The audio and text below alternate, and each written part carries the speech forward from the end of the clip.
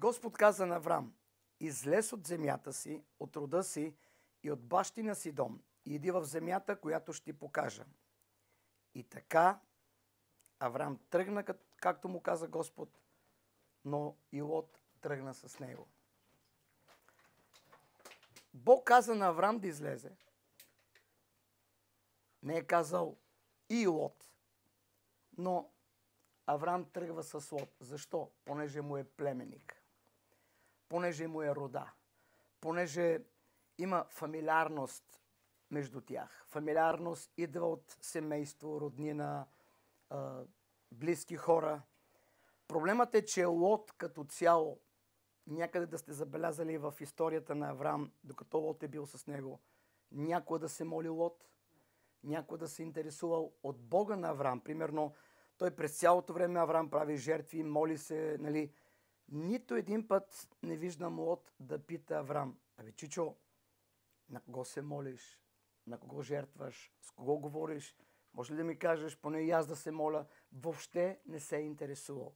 От това, което се интересува Лот, беше единствено от богатството на Авраам. Затова Лот следваше Авраам, за да изкара някой друг лев. Някои хора ви следват, за да може да успяват на вашия гръб. И често пъти може да бъде близък човек. Не е задължено да бъде далечен човек. Макар, че и това може да бъде. Но първата област, през която Авраам е минал, е фамилиарното. Бог от всякъде, през цялото време му е казал абсолютно ти излез. Дори има стихове, не съм ги изкарал, че след като Авраам се раздели от Лот, Бог му казва, ела сега да видиш какво имам за теб. Като прочетох това, казвам, чакай малко. Защо не му го казат, като Лот е бил с него? Защото Бог не иска да ти даде неща, които са за теб, докато си с неправилен човек около теб. Защото Бог не иска да ги сподели с него. Фамилиарното ще те забави да влезеш в обещанията, които Бог има за теб. Така че, а, понеже Лот е негов племенник, рода, фамилиарно, това е проблемът да трудно да вземеш решение да се разделиш или трудно да вземеш решение да коригираш твой близък човек, понеже сте рода. Но фамилиарното, фамилиарното, понеже е твой близък човек, има вероятност да те забави. Затова, вижте, аз не казвам раздели се с родата си, раздели се с племенника си, раздели се с хора, които сте семейство. Далеч съм от тази мисъл. Библията казва, обичайте, уважавайте близките си и така нататък. Но когато става въпрос за твоето взаимоотношение с Бога, трябва да си ясно, ясно разбран от всички, че ти си избрал да следваш Господа и всичко останало да си чака реда. Чухте ли ми какво казах? Окей? Okay? Да или не? Да. Това е първата област, през която Авраам е минал. Това е фамилиарното. И между другото, не е бил Лот с него 2-3 дена. Доста години. Ако не се лъжа по памет, мисля, че около 20 или 25 години беше постоянно с него. И това го дърпаше назад.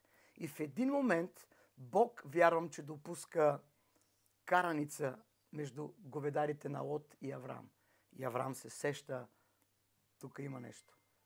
И изведнъж Авраам каза, Лот, виж, много станахме, нека да се разделим.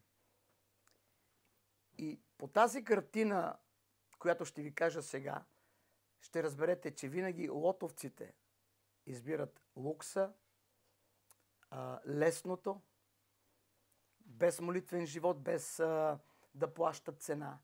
Когато Авраам му каза, избери си път на къде ще вървиш, той повдига глава и се избира Содомската област, понеже изглеждаше като напояваната градина в Едем. И когато Авраам тръгна вече по своя път, тогава Бог започна да му говори. Има вероятност дори Бог да не ви говори заради човек, който е до вас. Който Бог не иска да бъде до вас. Аз мога да го кажа от опит. В моя живот имаше не един човек, не двама, няколко души, говорят и за цялото мое християнство от 84-та година, 1984 година. Винаги от сезон на сезон, от време на време ми се прилепваше определен човек до мене заради възможностите ми, заради успеха ми, заради неща да използва от мене неща, за да изпъкне. Винаги през годините е имал някой такъв, който се е опитал хем да ме използва, хем да ме забави. Докато Бог не го освобождаваше от мене, аз не можах да прогресирам и да вървя на следващото ниво. В момента, когато Бог отделяше определен човек от моя живот, повярвайте ми, веднага нещата се случват. С това е много важно да излезете от фамилиарните взаимоотношения. И между другото, когато говоря за фамилия, за рода, не е задължително да бъде твой рода. Можеш да бъдеш фамилиарен и с човек от църквата, който въобще нямате кръвни връзки. Дори да е далечен човек, можете да общувате с този човек фамилиарно до такава степен, че да ти влезе в забранената зона, където е твоето лично пространство с твоето семейство и да се бърка в твоето семейство. И да ти каже какво да правиш. И между другото, такъв човек ще го забележите, а, който обича да контролира, защото просто сте му дали много място до себе си и това е фамилиарно, ще го забележите по този начин. Примерно, ако изпуснете да му кажете къде отивате, ще щупи телефоните да звъни, нищо, че той а, няма да бъде там. Ако ще бъде там, ще ви кажа по каква причина. Или ще бъде център на внимание там, или няма да отида. Да, да, да. Фамилиарното винаги така действа. Фамилиарното винаги така действа. Това е първата област. Втората област, нека да я видим в Битие 21 глава, 10 до 12 стих. Затова каза на Авраам, изпади тази слугиня и сина й, защото синът на тази слугиня няма да наследи с моя син Исак. Но тази дума се видя твърде тежка на Авраам. Исмаил буквално означава човек, който е дошъл по път. Тоест, Авраам си е помогнал, за да има син. Така че първо Авраам се е сблъскал фамилиарно с душевни връзки спрямо неговия племенник Лот. Втората област е Исмаил, който е дошъл по път. Така че първото е фамилиарно душевно, второто е плътското. Това са двете области, които ви забавят и ви пречат да влезете в трета област, която се нарича духовната област. Исак по обещание. Така че много, много е важно да обърнете внимание на каква основа общувате първо с Бога, второ с хората около себе си и на каква основа другите хора около вас общуват с вас. Когато Авраам се освободи от душевното и плътското, тогава дойде в областта на духовното и вярата се задейства и тогава дойде Исак обещание. Който говори, ако се питаш защо вярата ти, която демонстрираш, вярваш, но нещата не се случват, е защото душевното и плътското не позволява вярата в такава атмосфера да се реализира и да действа. Вярата работи само в духовен свят.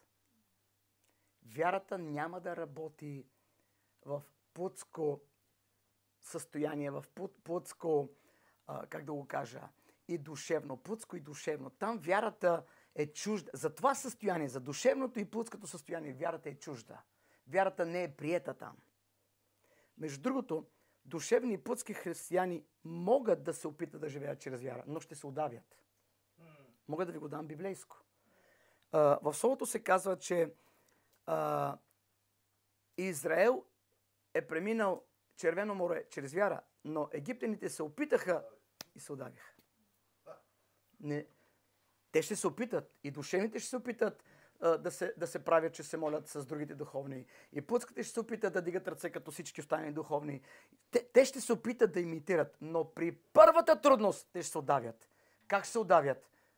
Няма да ги видиш в църквата, отказват се, а, говорят срещу Бога, ай, къде е това Бог, децата ми, проблем, това, там проблем, онова.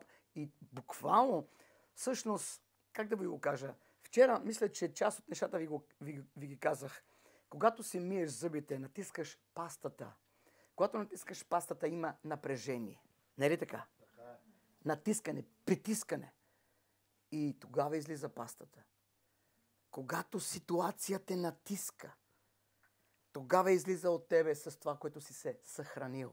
Това, което си сложил вътре в себе си, тежка ситуация, като червено море или като проблем в семейството, ще те натисне и тогава устата ти ще те издаде с какво си се хранил пред цялото време. Ако тежката ситуация те натиска или когато те натиска и излиза от тебе това, което си сложил в тебе през всичките години, ще бъде или Господи, благодаря ти, значи през цялото време си се хранил със Слово и при тежка ситуация ти си скарал правилни неща, с които си се хранил през цялото време правилно. Но когато тежка ситуация те натиска и изведнъж ще видиш това, което излиза от устата ти, се на мен ли до кога? Писна ми, Господи, какво се случва? Айде, повече няма се моля. Писна ми в тази църква, от нея не мога да раста духовно. Опа, тежка ситуация, натиска пастата и излиза отвътре Разбирате ли ме? Така че ще се опитат душевните пътските християни да живеят чрез вяра. И те всъщност съществуват само когато слънце пече. Не, не говоря съвсем сериозно. Тоест, какво означава само когато слънце пече? Когато нямат проблеми, когато заплатата е добре, всичко е наред и когато им даваш дори и позиция в църквата, всичко е радостно, всичко е окей, но когато все пак в това ежедневие, дори в ежедневието имаме слънце, но имаме и луна. Имаме и ден, имаме и нощ, което говори в духовния свят, както имаме благословени моменти, успешни, свърхестествени, божествени моменти, имаме и долини, не е ли така? Така че, за мене, ако ме питате, долините са най- най-силните моменти, които всъщност показват кой си ти. Защото лесно е на планината, когато Христос те изкачва, Христос а, преобразява себе си, както го направи при Петър, Яков и Йоан. Вау! Господи, три палатки ще ти правиме. Нали? Но когато е в долината, не, не вярвам, че три палатки ще направи, а три палатки може да развали. Защото ще му е трудно, защото ще му е тежко, ще, защото ще е просто мрачно. Долините, когато ги издържаш, ще покажат колко си стабилен. Една къща, колкото и да е красива, направена, луксозна, ремонтирана, земетръс ще покаже състоянието на къщата, колко е здрава. Не е ли така? Не е ли така?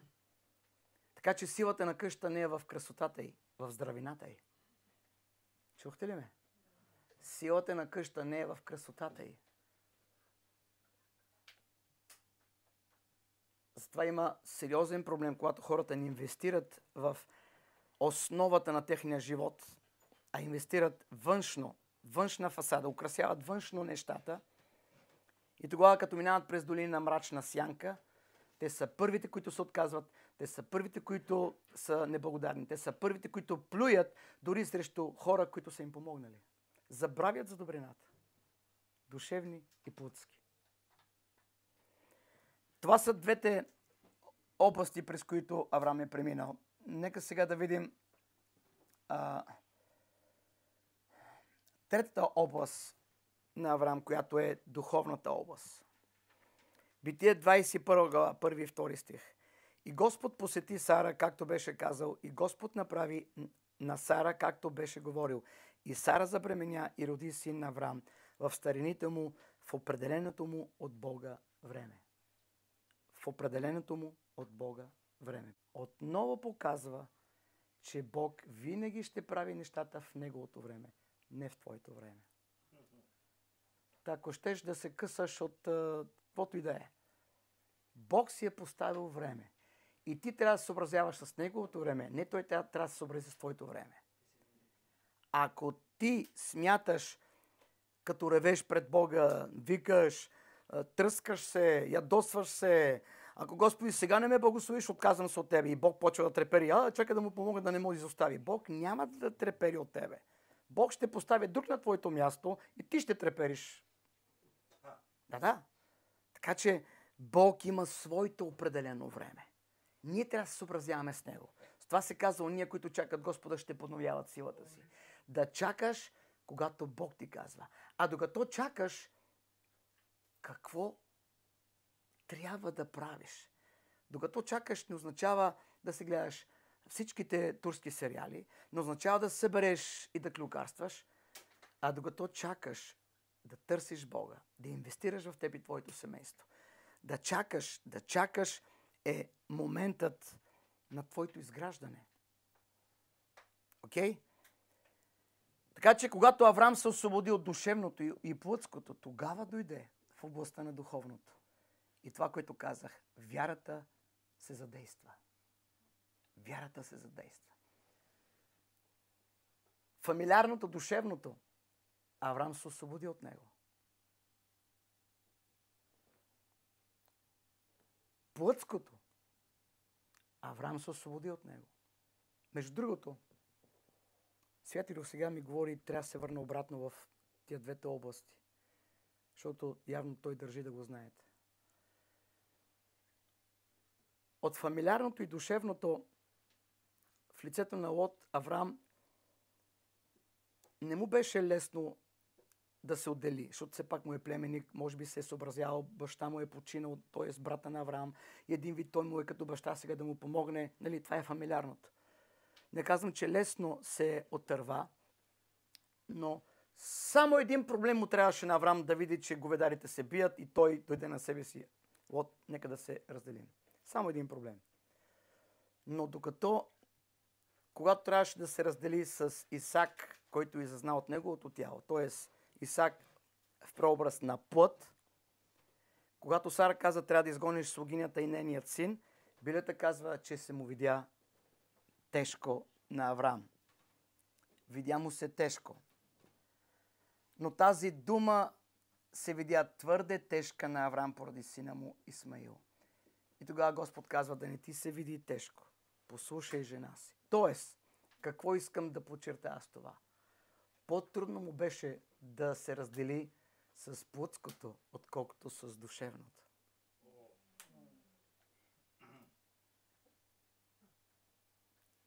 Разбирате ли? Не, че а, или искам да ме разберете правилно. Не, че му беше лесно издушевното, все пак 20-25 години го е влачил Лот. Но само един проблем, че са се скарали говедарите, просто дойде на себе си и не му беше тежко, каза Лот, да я се разделим. Който говори, че все пак душевното му изяде доста години. Забавяне да срещне обещанието, което Бог имаше за него. Когато трябваше да се раздели с Исмаил, а, по плът, т.е. с плъта в лицето на Исмаил, му стана тежко. Което означава, че Бог трябваше да се намеси да му каже направи го. А когато се скараха говедарите, Бог не се е намесил да каже направи го. Въпреки, че Бог още в началото му е казал ти излез. С две думи, не искам от. Но Авраам не го послуша или не обърна внимание. Но му трябваше само един проблем и каза веднага разделяме се. Но не се намесил Бог да потвърди, да каже да, да, да. Разделяйте се. Но когато трябваше да се раздели с плътското, дори и Бог се е намесил. Който говори, ако Бог не беше се намесил, ме съмнява дали Авраам щеше да изгони Исмаил. Който говори, че имаш нужда от Бога, когато трябва да премахнеш плътта от себе си. имаш нужда от Бога. Не можеш по човешка да го направиш, защото боли. Боли. Боли. Така че Авраам е срещнал обещанието вече в лицето на Исак, след като се отдели от фамилиарното, душевното, от плътското и е навлязал в третата област, която е божествената област, духовната област. И тогава Авраам получи обещанието. А, в Битие 22 глава, 2 стих, виж какво каза Господ. Вземи сега сина си, единствения си син, когато обичаш, Исак, иди в местността Мория и го пренеси там в Сизгарине на един от хълмовете, за които ще кажа. Мога ли да ви задам въпроси? Искам да се намесвате. Защо Бог е казал на Авраам, пренеси Исак на Мория, а не е казал, пренеси Лот или Исмаил?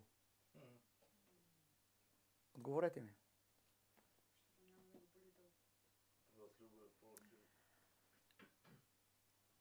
Сигурно пак ще да го боли, защото все пак му е племенник единият, другият му е син от плота. Не казвам, че няма да го боли. Но отговорът е, Лот и Исмаил не бяха дадени от Бога на Авраам. Той сам си ги избра. Тоест, Авраам душевното го влачеше. Лот, той го влаче след себе си. Плътското си го направи, а духовното го получи. Душевното фамилиарно го влачеш години с тебе. Плътското ти си го правиш, а духовното го получаваш от Бога по благодат. Така че Лот и Исмаил не бяха дадени от Бога. Бог никога, запишете си го това, Бог никога няма да иска от тебе да жертваш нещо, което Той не ти е дал. Той иска от тебе това, което Той ти е дал. Бог му даде Исак и той иска Исак. Никой няма да иска от тебе нещо, което сам си го направи, сам си го донесе. Това е чуждо за Бога, разберете го. Представи си да не бъде крадеш милиони и си казваш, о, ще дам десятък, сега може би ще, о, как се казва, ще, ще докосна малко сърцето на Бога, така че той ще ми обърне внимание. Бог няма ти иска тази жертва, понеже тези пари той не ти ги е дал, ти си ги откраднал. Бог никога няма да иска от тебе неща, които той не ти е дал. Ако Лот Исмаил не напусне, Исак никой няма да дойде. Ако душевното и плътското не напусне живота ти, Исак никой няма да дойде. Исак в лицето на къщата, в лицето на колата, в лицето на призива ти, ако щеш, в лицето на свободата, в лицето на благословенията, на благодата, в лицето на живота изобщо, който искаш да живее. Няма да дойде. Защото Бог, какво ни учи, Лери Святелю, ще благодарите, какво ни учи Господ? Че Той, Той изразна да се и казва, едните паднаха по каменисти места, други в а, трънливи, но семената, които паднаха на добра почва, какво дадоха? Плод. Тоест, Бог няма да сее в душевни и плътски хора, защото няма да има плод. Там има птици, които кълват това, което дава Господ. И там има трънни, а, трънни, които заглушават семената. Но Бог търси добра земя. Какво означава добра земя? Там, където живея, вие, някой от вас знаете къде живея, около мене има полета. Нали, има и къщи, но от двете страни има полета. И от спалнята ми, сутринта, като се събуждам, а, има хора, които обработват земята и пред очите ми, сякаш Бог ме е поставил там да живея, за да ме научи нещо. Не, Бог ми е свидетел. Гледам как орат земята, как я обръщат, как земята изведнъж от твърда земя, камениста земя, обръщат я. Това е моментът на орене и изобщо обработва земята и си казвам, погледни, след известно време тук ще виждаме нещо красиво, което ще, ще порасне. И често пъти най-много ми харесва като сеят а, слънчоглед. Леле, после каква красота, човек жълто, красиво, направо. И слънцето, между другото, където се върти, те се въртят заедно, в едно. Слънчогледа се върти. Къде... Това се нарича слънчоглед. Те следят слънцето. Буквално картина. Ако слънчогледа следва слънцето, показва ние християните как да следваме слънцето на правдата, който е Христос. Трябва да се учим дори от, от растенията, които... Така че душевното и плътското ще ви пречат, за да живеете чрез вяра в духа. Как го казах, душевното си го влачеш, плъткото си го правиш, духовното го получаваш. Защо духовното го получаваш? За да не се хвалиш, че ти го заслужаваш.